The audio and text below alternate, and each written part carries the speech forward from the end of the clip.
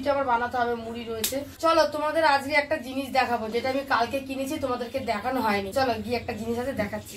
হ্যাঁ বন্ধুরা তোমরা কেমন আছো? আশা করি সবাই অনেক ভালো আছো। তোমাদের আশেপাশে আমি অনেক অনেক ভালো আছি। তো চলে আসলাম আবার নতুন একটা ভিডিওর সাথে। আর এখন বাজে হচ্ছে দশটা বেজে বাজে কিনা জানি না। কটা বাজে দশটা। ও দশটা বাজে। সাড়ে দশটা। তো এখন বাজে হচ্ছে দশটা। আর সকাল সকাল আগে রান্না করে চলে কারণ তোমাদের দাদা ভাই খাবে হচ্ছে সকালবেলা ভাত। আমরা কেউ ভাত খাব না। আমরা সকালে কেউ ভাত খাই না তো আমরা কেউ ভাত খাব না। তোমাদের দাদা ভাইয়ের জন্য ভাতটা বসানো হচ্ছে, ও আলু সেদ্ধ দিয়ে খাবে। আর চলে আসলাম কাঠের ঘরে দেখতে পাচ্ছি নুন ধরিয়ে দিয়েছি।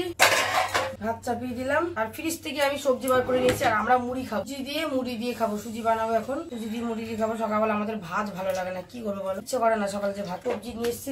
ও, এই যে মটর ডাল। মটর ডাল রান্না করব। মটর ডালটা তো আমাদের খাওয়া হয় না, তাই সেরকম বাবা মটর ডালটা ঘরে আমি এনে রাখি না, একেবারে পোকা হয়ে যাবে। যখনই লাগে দোকান থেকে নিয়ে আসি। আর এসে মটর ডাল নিয়ে এসেছি। আর এই যে দোকান থেকে এক প্যাকেট মুড়ি নিয়ে এসেছি, মুড়ি খাব। আজকে হচ্ছে বন্ধুরা গারু সংক্রান্তি। তো আজকে গারু সংক্রান্তির দিন আমাদের নিরামিষ খেতে হয়। গারু সংক্রান্তির দিন আমাদের মাছ খেতে নেই। এই যে ফুলকপি, ফুলকপিগুলো আমি ফ্রিজে এনে মানে এনে রেখেছিলাম ফ্রিজেই ছিল।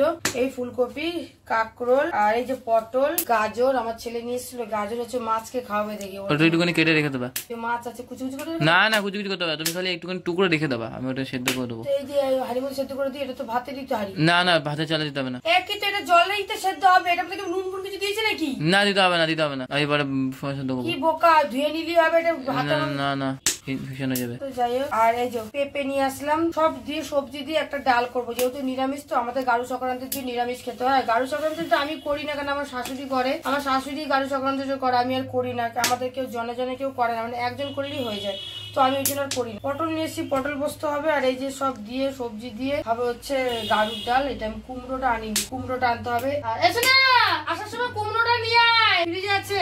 বলে নিচে গেছে। ভাত আর এইদিকে হচ্ছে আমরা খাব হচ্ছে মুড়ি আর বানাতে হবে, মুড়ি রয়েছে। চলো, তোমাদের আজকে একটা জিনিস দেখাবো, যেটা আমি কালকে কিনেছি, তোমাদেরকে দেখানো হয়নি। চলো, গিয়ে একটা জিনিস আছে, দেখাচ্ছি।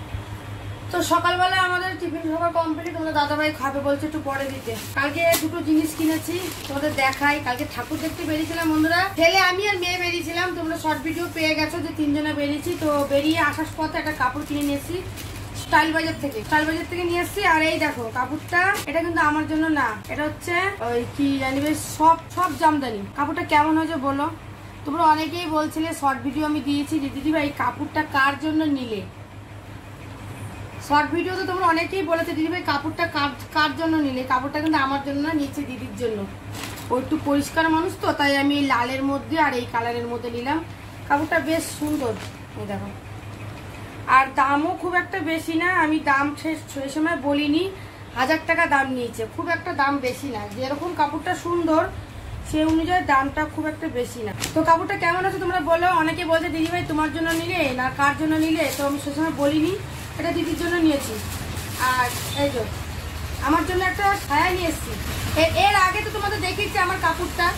আমি একটা আমার জন্য কমের মধ্যে কাপড় নিয়েছিলাম, সাড়ে পাঁচশো টাকার মধ্যে, কিন্তু সাড়ে পাঁচশো টাকার দাম হলো কাপড়টা খুব সুন্দর ছিল। তো যাই হোক, আর এটা ওর, ও অষ্টমীর দিন অঞ্জলি দেওয়ার জন্য আমি কাপড়টা কিনা বেশ ভালো লাগবে। চলো, এই যে ছায়া নিয়েছি আমার জন্য, আর একটা কাপড় কালকে কিনেছি, আর জাস্ট ঠাকুর পুজো দিয়ে আসলাম। চলো, আর বেশিক্ষণ কথা বলব না, কারণ রান্নাঘরে যাব, এখন রান্না করব। অনেকেই জিজ্ঞেস করছিলে কার জন্য নিয়েছে, তো আমি বলে দিলাম, এটা আমার দিদির জন্য নিয়েছি। ওর অষ্টমীতে অঞ্জলি দেবে দেখে। তো চলো বন্ধুরা বেশি কথা বলব না, কারণ আজকে যাব হচ্ছে বাড়ির দিকে। বাড়ির দিকে যাব, আর এটা ও বাড়িতে আজকে আসবে, মায়ের বাড়িতে আজকে ও আসবে। ভাবছি ওখানেই কাপড়টাকে দিয়ে দেবো। ও মায়ের বাড়িতে আসবে ওখানে আমি কাপড়টা দিয়ে দেবো, তাড়াতাড়ি করে রান্না বান্না করি, আর এদিকে হচ্ছে, আজকে গাড়ু সংক্রান্তি তো জন্য নিরামিষ রান্না করব। ছেলে বাপের বাড়িতেও আজকে নিরামিষই দেবো, তো ছেলে খাবার নিয়ে যাবে। তো চলো তাড়াতাড়ি করে রান্নাগুলো করে নিই, তারপরে বিকেলবেলা বেরোবো। তো এই যে সব সবজিগুলো আমার কোটা হয়ে গেছে, ফুলকপি, আর এই যে পটল পোস্ত করব। পোস্তটা আমার বাটতে হবে সিলটা ধুতে হবে ভালো করে। আর এই যে সবজি দিয়ে ডাল করব, তোমাদের দাদা ভাইয়ের জন্য ভাত বেড়েছি, আসছে খেতে। ডালটা এক তিনটে সিটি দিয়ে নিয়েছি আমি। কুকারে কেমন হয়েছে দেখি সেদ্ধ না হলে একটা দিতে হবে। ও মা, খুব সুন্দর সেদ্ধ হয়েছে তো? খুব সুন্দর সেদ্ধ হয়েছে ডালটা। তো যাই, ডালটা খুব সুন্দর সেদ্ধ হয়েছে। এবারে হচ্ছে, আহ ডালটা হচ্ছে এবার সম্বাদ দিতে হবে। ভালো করে একটুখানি সবজিগুলো ভালো করে সেদ্ধ করে সম্বাদ দিতে হবে। তো চলো, ডালটাকে সম্বাদ দিয়ে নি আর এদিকে দেখো সব সবজি আমার কুটি একেবারে ধোয়া হয়ে গেছে। সব রকম সবজি। এক, চার, পাঁচ, ছয়। তো, এক, চার, পাঁচ, ছ রকম সবজি আছে। ছ রকম সবজি দিয়ে ডাল করব আর বেগুন দেওয়া যাবে না, কারণ মার চোখে চুলকাবে বেগুন দিলে। তাই বেগুন ছাড়াই করব। বেগুন আছে ফ্রিজে, বেগুন দেওয়া যাবে না। আমি পেঁপে দিয়েছি, আলু দিয়েছি, কুমড়ো দিয়েছি, আর এখানে হচ্ছে পটল দিয়েছি, আর কাঁকরোল দিয়েছি, গাজর দিয়েছি। এই মেয়ের জন্য দিলাম। তো চলো বন্ধুরা, এবার হচ্ছে খাবার দাবারগুলো রান্না সেরে নিই পরে আবার পরে আবার কথা হবে। চলো। তো বন্ধুরা পুরো রেডি হয়ে গেছে, আর রান্না পুরো মানে পুরো কি পুরো রেডি হয়ে গেছে, আর একটু দিকে কাজ আছে করব। তো কি কি রান্না করলাম, চলো দেখিয়ে দিচ্ছি। এই যে, এখানে হচ্ছে এই যে সবজি দিয়ে ডাল করেছি। এই যে দেখো, খেয়ে একটু তাড়াতাড়ি বাড়ির দিকে হাঁটা দেবো, ওই জন্য আর কি তাড়াতাড়ি তাড়াতাড়ি করে নিলাম রান্নাটা।